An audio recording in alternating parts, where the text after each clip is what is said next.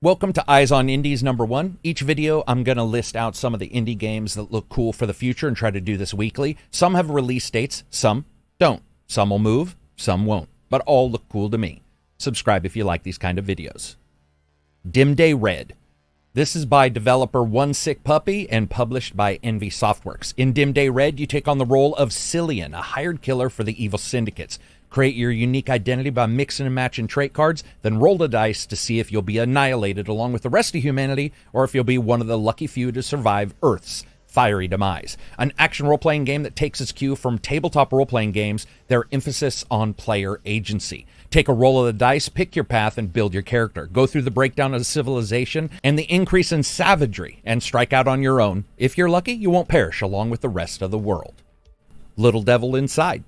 So, Neostream Interactive is developing and publishing a new action adventure video game. This is Little Devil Inside, which has been delayed a number of times but appears to be coming out. It's a single player and multiplayer version of the game that chronicles the professional and personal lives of explorers who are looking for monsters and strange happenings in a setting that's reminiscent of the 19th century. Third person, three dimensional action adventure RPG light. Little Devil Inside has aspects of survival, battle, and free roaming exploration. The game's single player and multiplayer modes both follow the exploits of the characters throughout the entire game, and you can do local co op. At least that's what I hear. The game looks awesome. I can't wait for this one to finally come out. Manor Lords. Developer Slavic Magic and publisher Hooded Horse. The medieval strategy game Manor Lords includes extensive city building, massive tactical conflicts, and intricate economic and social simulations. As the seasons and the weather shift and cities flourish and fall under your medieval lordship, you can possibly do the same. Manor Lords is a strategy game that allows you to experience the life of a medieval lord, grow your starting village into a bustling city, manage resources and production chains, and expand your lands through conquest. Inspired by the art and architecture of the late 14th century, Manor Lords prioritizes historical accuracy whenever possible, using it to inform gameplay mechanics and visuals alike, mixing them all together. Common medieval tropes are avoided in the favor of historical accuracy in order to make the world feel more authentic, colorful, and believable. This one actually looks pretty special to me because I like the idea of taking what we expect in some of these genre titles, turning it on its head a little bit. Smalland. Smalland is a microcosm of epic adventure. Experience the thrill of co op survival in a huge and perilous universe. If you're little and living in a world full of huge beasts, when you're at the bottom of the food chain, you'd better come prepared. Make your own armor and weapons, set a camp, and venture out into the unknown. This game certainly does look a bit like Grounded, but it has a lot to it, a lot of charm, and something about it that I actually really like the look of. I'm hoping to see this one soon. It's also got PvE and co op, and the idea of going out there with other friends means to me at least two titles are in the smaller than the toys in your backyard genre, and I'm fine with that. Plucky Squire.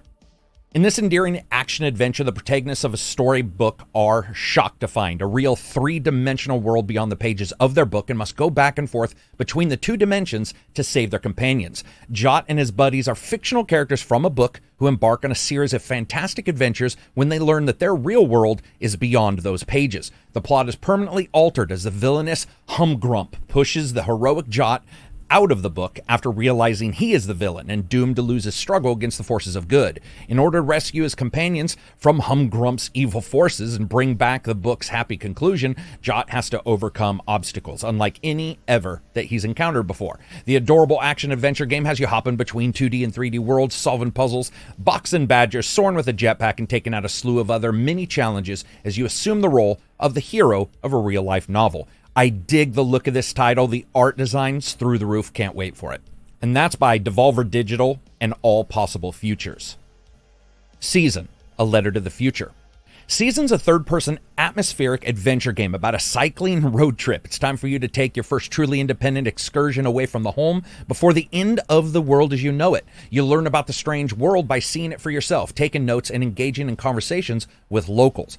The gameplay is around going places, making notes, talking to people, and figuring out what's going on in this weird world. Sounds and music and artwork and the experiences of the people in the moment are all captured in various ways by various recording devices. It certainly does at times feel a little bit like everybody's gone to the rapture. Your tools let you get under the surface to underlying culture, history, and environment. The fundamental questions you have to answer in the journey concerns the nature of this season and the mysteries that revolve around it. I think this looks awesome. It's my type of title, one of those games that has you slowly picking apart the mystery of something, and I really do like the looks of this title. Next up, Nine Sols. Nine Sols is a hand drawn 2D action platformer with deflection focused gameplay reminiscent of Sekiro. Embark on an adventure in the style of Eastern fantasy and travel to a region previously inhabited by an alien species to join an angry hero in his mission to kill the Nine Sols, the imposing rulers of the region and this region is known as New Kunlun. Within this enormous realm, the ancient gods pledged to leave mankind with a territory that would be permanently preserved by the holy rites. Nevertheless, the majority of people have no idea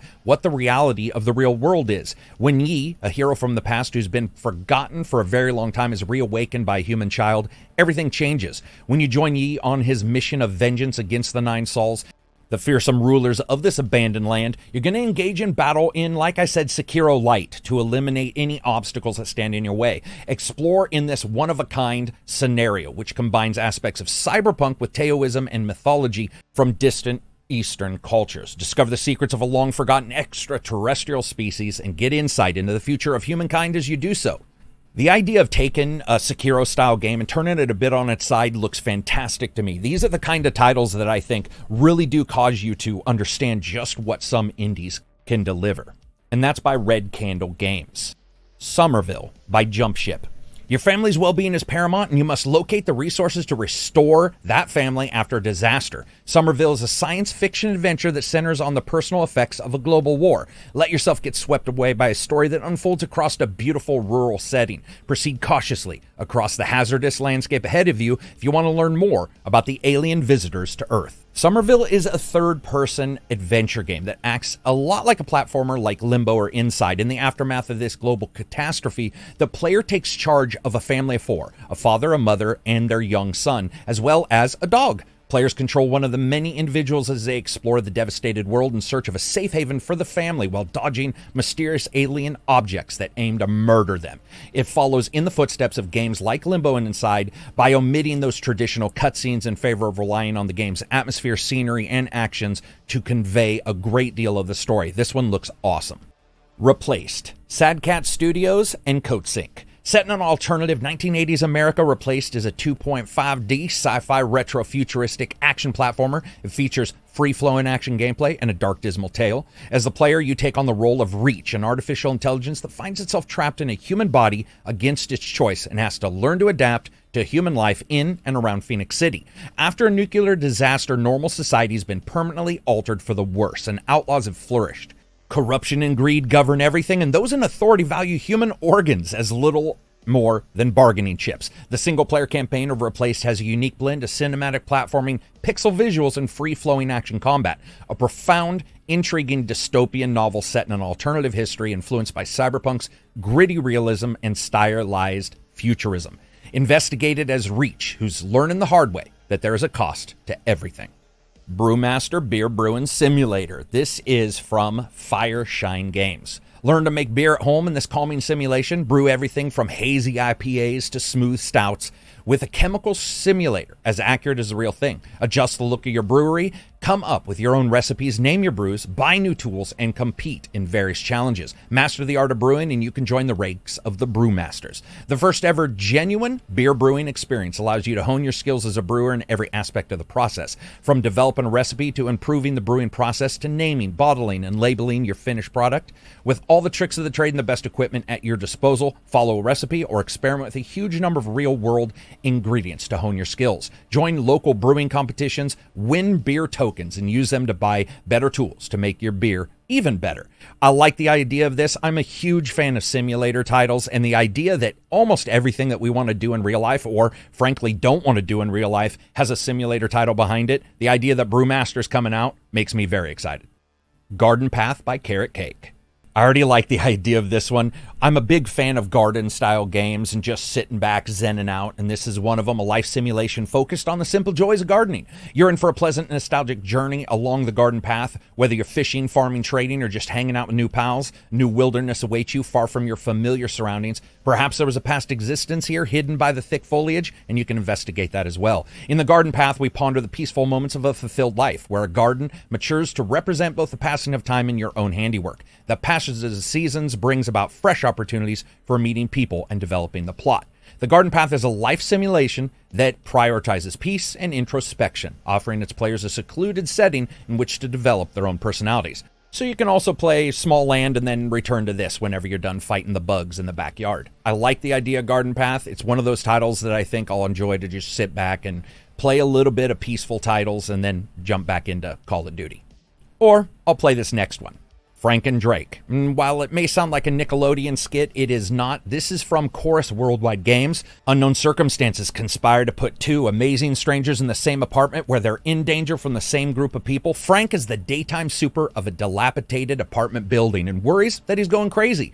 Drake is a photosensitive, so he only works at night, leaving the roommates little choice but to rely on post it notes as the primary means of communication between them. They're separated but have to work together to solve a mystery and ensure their own survival. This is one of those type of games that I think could easily run off the rails and really tell a story that's disjointed. But at the same time, I like what I'm seeing for this one. And some of the trailers actually look like a mystery I really do want to uncover. This is one of those titles that I think a lot of people won't even talk about, but I think it's something that you should at least keep an eye on. Admittedly, this next one you probably already do, and that is Moonbreaker by Unknown Worlds Entertainment and Krafton Inc. A tactical tabletop game. Moonbreaker is played using a turn based system created with the intention of providing a genuine digital miniatures experience while taking place in Brandon Sanderson's vast science fiction universe. Steer captain and crew through exciting, ever shifting competitions and adventures to decide the fate of the Reaches. Unknown Worlds, who are creators of the Subnautica games, have created a tabletop tactics game with a turn based strategy mechanic called Moonbreaker. Take command of your units in exciting turn based battles where the outcomes are always unpredictable. Use ship assists, roster compositions, map known ledgers, and other strategies to outwit your opponents. Play against the computer other players in a number of different offline and online competitions. It's easy to pick up, but difficult to put down. At least that's what they say. But what I see of this title really does look like a miniatures, well, digital game. And I love the idea of jumping in there, painting your miniatures. We saw this in a trailer earlier, but it just looks fantastic. And while some people may not necessarily consider them an indie, they really are when it comes to exactly how much backing they have and who is actually backing them, which is pretty much just them. I like the idea this. This game looks insanely polished. So those are some of my indie titles that I saw in the last couple weeks that I think are really interesting. What are the indie titles you like? What did you like in this list? Leave a comment in the comments section. Subscribe. You can always check out the Patreon. It absolutely helps the channel. And because everything gets demonetized or adult rated from me lately, it really does help the channel as well. Peace out. I hope you have an awesome week.